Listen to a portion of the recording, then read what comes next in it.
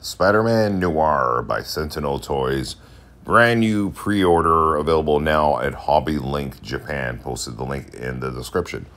Um, so obviously looks pretty cool. He's from the 30s. He's got that old school 30s look, you know, kind of like a Chicago kind of, you know, feel to him.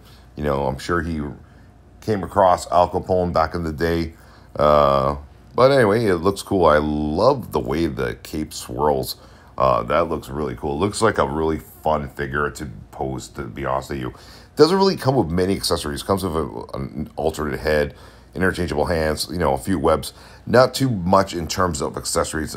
That's the only thing I don't like about this. At the price point's over a $100, and there just isn't enough accessories.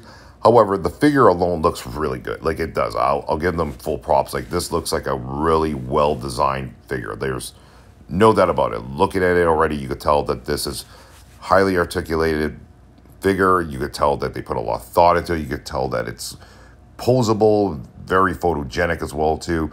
A lot of us that do, you know, toy review in hands, uh, review of the actual figures would have a field day with this one for sure. It'd be kind of cool to film this in a downtown setting, like a like a like a beer market setting with the the brick buildings in the background. I think that'd be really cool, um, just to give it that old 30s feel.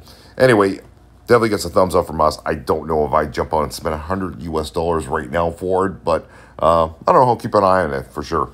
Link in the description to Hobby Link Japan right now. All right, take care, everyone. We'll see you guys in the next video.